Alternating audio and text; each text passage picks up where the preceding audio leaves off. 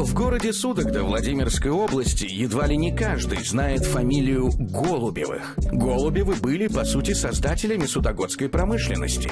В 1879 году они основали предельную фабрику, в 1897 году бутылочный завод, ставший в 20 веке крупнейшим предприятием города.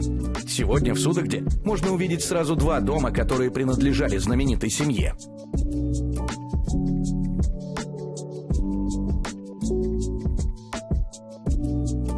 Бродский теремок в центре строился изначально как первый дом, в котором обосновалась семья, а со временем был оставлен матери и перестроен. А через дорогу от теремка расположен особняк Голубева.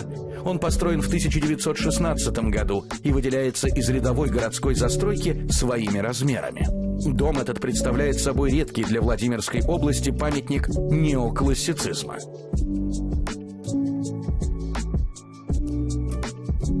Главными фабрикантами Судогды связано множество легенд, в частности о происхождении их финансов.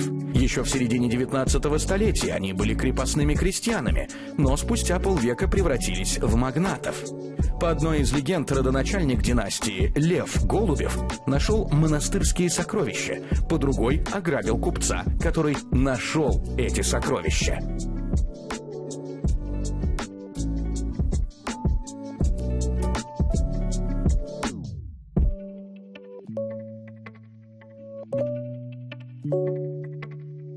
Thank